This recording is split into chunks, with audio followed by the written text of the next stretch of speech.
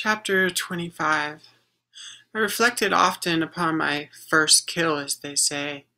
I thought about Anne Hendricks and the boy whose fear I subtracted in the secret garden away from the city, her atrocities and exhilarations, her toxins, searching myself for the answer to certain complexities of my life.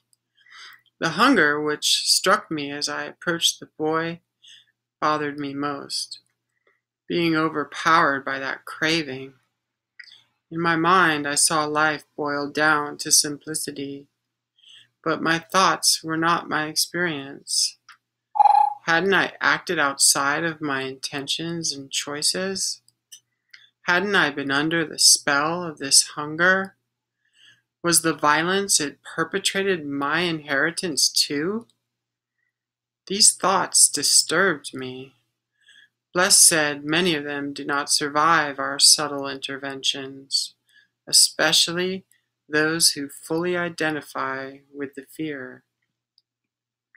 Without fear, who are they? she asked rhetorically. They cease to be. So, what if the boy had died in the process? I asked. So what? That would make me a murderer, a killer. She looked at me, perplexed. I guess, if you want to look at it that way. She shrugged her shoulders. I could tell she thought I was a drama queen. Unbelievable. Dare I accuse my own sister of callousness? Well, she could follow my thoughts, and by the way she went quiet, I could see I hurt her feelings. So then she had not a callous heart? Could both states exist like flip sides of a coin? Here is when I realized on a deeper level our own true nature, deluxe, and our helplessness to it.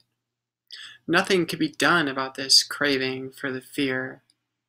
Surely I might steel my will against misdeeds, but to follow a course against one's own nature was to steer into the wind and end up in irons or capsized.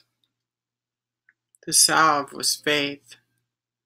This violence could only be accepted as a means to a greater good, the eradication of fear initiative. Similar battles were ongoing in scientific communities, were they not? Chemists and biologists and doctors working together to kill off cancer. Chemotherapy and radiation were nothing if not violent. Many lives were lost to the toxicity, and many were saved. The processes were aligned with the best of intentions. Coming to this conclusion at this moment in time, I could not only feel the light clarify as I took each step deep breath of the aromatic dream, but also see how I might, like the reflecting pond in the amphitheater of roses, take only some and give away the rest of that refracted light out of the corners of the earth where it was most needed. The darkest places among the shadowed eternities of East and West Oakland.